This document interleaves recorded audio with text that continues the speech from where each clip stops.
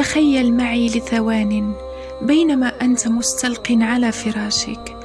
ظهر لك شخص قوي البدن واقف ينظر إليك. فسألته في اندهاش من أنت؟ وكيف دخلت؟ فأجابك بقوة في الصوت أنا عزرائيل ملك الموت. جئتك لآخذ الأمانة لخالقها. فتصور معي كيف تشعر ساعتها؟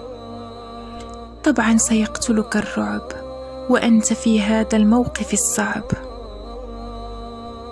فهل تتوسل إليه أن يمهلك بعض الوقت؟ أم ستكتفي بالبكاء والصمت؟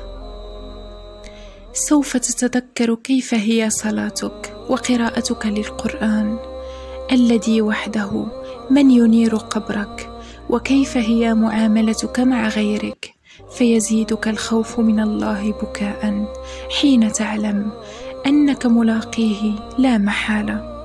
فحياتك اليوم فرصة لا تضيعها في التأجيل وسارع إلى مغفرة من ربك قبل أن ترغم على الرحيل.